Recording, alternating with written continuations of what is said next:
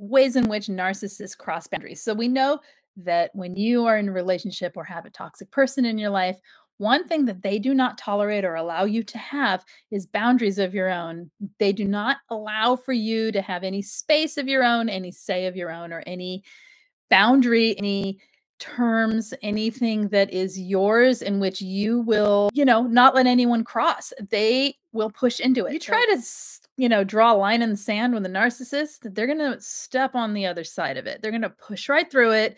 They're going to blow that sand away and say, I'm sorry, what line? One thing that I've seen is when uh, a narcissist has a line, like, say, um, I'll just make up I'll make up an example of if you're co-parenting or have shared property or or work together.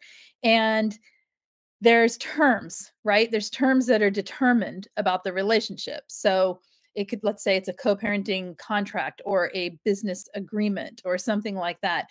They will push every line into your space in that agreement. They will try to get more time with the children through pushing their way into your time. Or in a business situation, they might take over something that was something you were responsible for and, um, you know, push right through any boundary you had in place to protect who does what. It doesn't matter what it is, those are just clear examples. They will push through your boundaries. Your boundaries. They do not like to be told what to do and they do not like to not be in charge of everything and control the whole situation. So. Another thing that happens is them, the narcissistic person, insisting, okay, that you do things their way, right? And that there is no, you have no say. So you might set a boundary to, you know, with a narcissistic parent, say, where you're not going to talk to them on the phone more than 10 minutes because not because you want to be mean to anyone or don't want to share time with someone, or it has nothing to do with that. It has to do with the fact that they're toxic and you're giving them as much time as you possibly can without losing your mind. So, so say you said you say to yourself, okay, the boundary is 10 minutes, and you let them know, hey, I only have 10 minutes to talk. They're going to use the entire time to talk about guilt trip you, uh, give you some kind of flack for setting that boundary. And then they're going to push into the net. Well, all we've done is is talk about this, you know, this thing that you're uh, you're insisting on doing. Push, push, push, and then they'll keep talking through the 10 minute boundary moment and keep going and keep going. This is systematic and it's done on purpose to control the situation. It's done on purpose to make sure you're giving them attention. It's not a, a heated conversation or an exciting conversation that went longer. That totally happens. But with a narcissistic parent or a narcissistic person, it is a deliberate attempt to steal your time or if it's something that doesn't serve the narcissist they can't see why you should set the boundary because it's actually just interfering with their life and their they have to then deal with it but they don't have to deal with it if they would just let you set the boundary. Okay, here's one thing that a narcissist will do they will push and push and push and push and steamroller right through your boundaries to the point where you give up and you say fine and you just you you just become almost numb while it's happening uh, there's an example i have of a narcissistic parenting situation where the it's a narcissistic father in this case is insists on interfering with parenting time that isn't his. And he will do so using words like you're alienating me how am I alienating you? How is she alienating you, man? It's not your time, right? It's her time.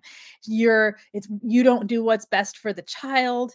If you did what was best for the child, then so basically guilt tripping and guilt tripping, but there's a continual push. Oh, this is a school event. I'm allowed to be here. Okay, sure. Well, this isn't really school. This is extracurricular. Wait a minute. Confusing things, right? So gaslighting you, twisting words, twisting the truth, twisting reality until that person is enmeshed in a situation that they don't belong in and they have just completely obliterated your boundaries with them. They are for yourself. They're, it's not a battle with a toxic person. It's not a battle with any person to set a boundary. It is what you need for your life and your requirements. And you know, it's not it the problem is narcissistic people make it a battle and they make it they make it something to push against and so it feels like you're constantly fighting for your boundaries. If you just relax and realize that boundaries for you and hold to them as much as you can there you go.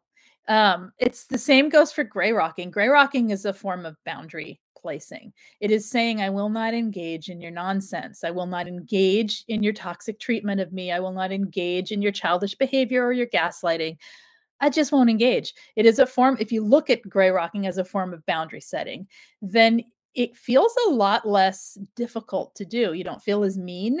You don't feel as scared. Whatever it is you feel, people feel all different things. Um, and I'm just relaying some of the things people have said they feel with gray rocking. So if you look at it like a boundary, it's good for you, it's good for the relationship, and it's good for the situation. Whether it's good for the narcissist or not, who cares?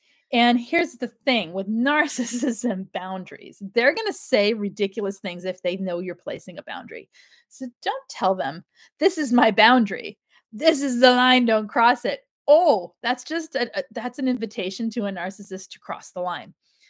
That is setting up a situation for you that they will then say the most ludicrous things and call them their boundaries. They'll scream in your face. I've heard this one. Okay, toxic person talking to a not toxic person.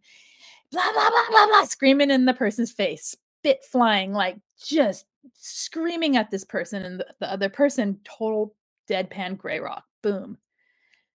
Separate. The person in front of a child, right? And the person says, That is never happening again. You will not do that to me in front of the child. Inappropriate, blah, blah, blah. The narcissist says, I was just setting my boundaries. Okay, so be careful the words that you use around them because once they have hold of them and they start once they know you know the words because they already know the words, then they start using them on you. Narcissist so, and boundaries, let me know what you think. What have they done to you? Let me know in the comments. Hit the thumbs up, hit subscribe. Um, if you need coaching, group coaching, or anything like that, please check out the info in the main description of every video. Lots of help there. There's also peer support links there if you need it.